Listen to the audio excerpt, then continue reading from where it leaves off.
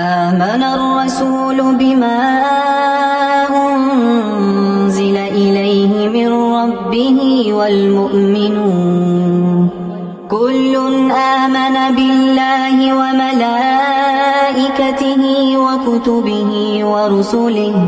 لا نفرق بين أحد من رسله.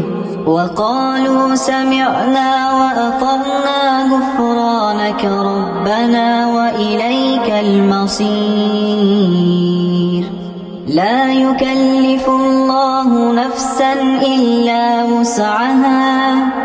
لها ما كسبت وعليها ما اكتسبت.